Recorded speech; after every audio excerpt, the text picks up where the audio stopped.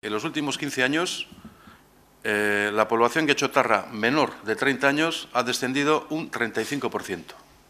O sea, la gente no digo que se exilie o que vaya al éxodo, ¿no? Pero sí se está fomentando cierto desarraigo.